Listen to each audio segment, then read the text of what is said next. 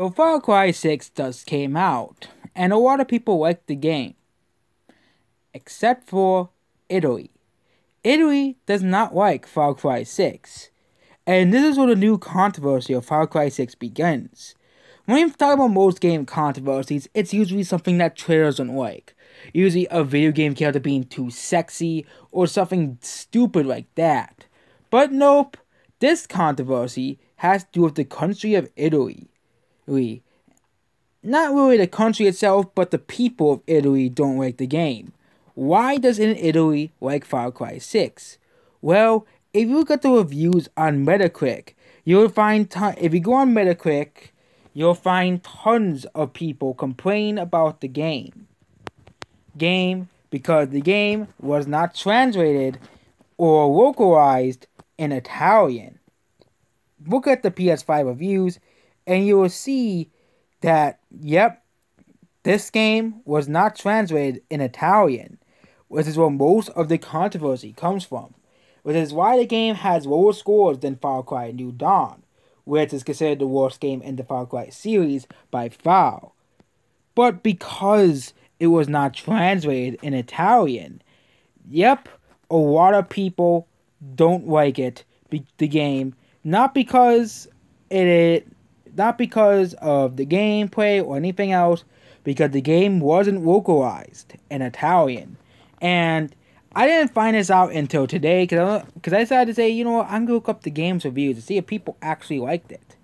But Italians seem to despise this game because Ubisoft was too lazy to translate the game in Italian.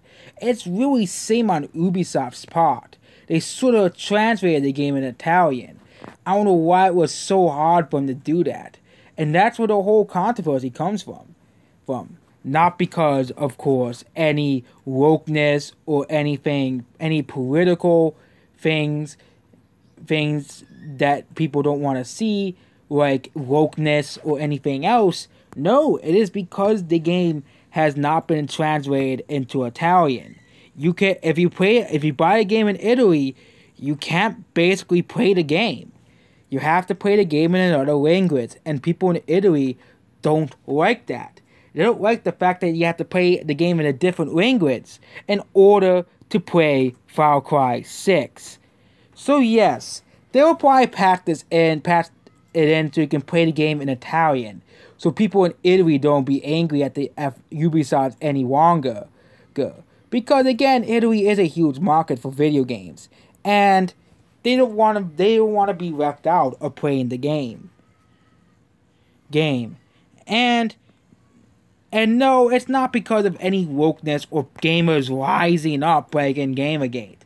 It is simply because Ubisoft didn't put the game in Italian, and they just don't like, and they just want to be able to, and Italians just want to be able to understand how to just understand, play the game in their own language.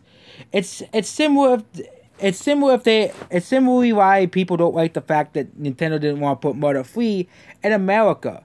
It didn't make any sense. At the time it did because Earthbound sold like sit in America. But this Far Cry usually sells well worldwide.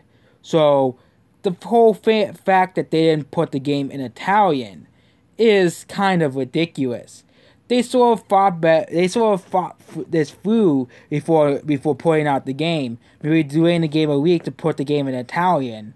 Yeah, and because they because in every other because it's playable in most other major languages as well, except of course Italian. And that's the whole controversy of Far Cry 6. No, it's not anything to do with wokeness or anything else. It's a simple fact that the game isn't playable in Italy. Italian essentially. So if you buy the game in Italy, you will not be able to play the game in Italy, essentially. So yeah, that's basically about the game video. Goodbye.